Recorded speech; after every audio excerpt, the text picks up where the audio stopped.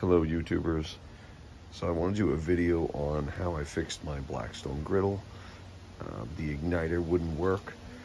Uh, right here, right here, I tried the batteries. Uh, basically it's about two years old and uh, went through a couple batteries, but anyway, it wouldn't light. So I have it as a built-in. So with that, to remove the face was going to be a pain and the part itself was like 20 bucks. And from what I read it seems to last like about two years. So I didn't want to be doing that.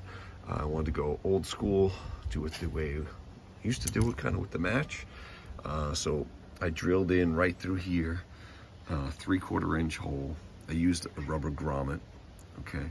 I used a step drill bit um, just like that okay drilled in through here, three quarter inch, and then there's two other layers. Um, you take your griddle off and you get it from from the backside.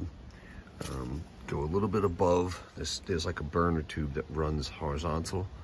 Um, so if you go a little bit above, you're fine. Um, now I just use a regular stick match. I can use it sometimes like four times or so. Uh, just light it up turn on your gas, and then with the match, you just go in, light it, and come right out.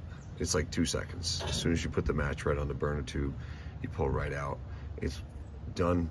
Um, I dip this in water, and then next time I just light it with a lighter.